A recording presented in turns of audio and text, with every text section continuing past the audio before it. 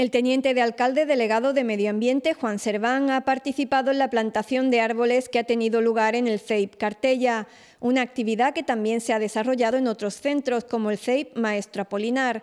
El edil agradeció a la comunidad educativa su implicación en esta actividad, con la que se pretende crear conciencia entre los más jóvenes de la importancia de los árboles para la vida en el planeta.